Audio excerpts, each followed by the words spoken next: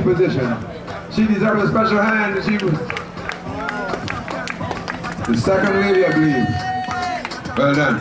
Third lady, third female.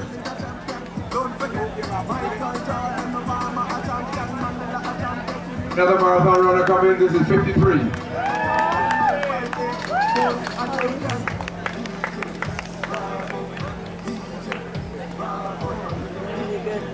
I admire.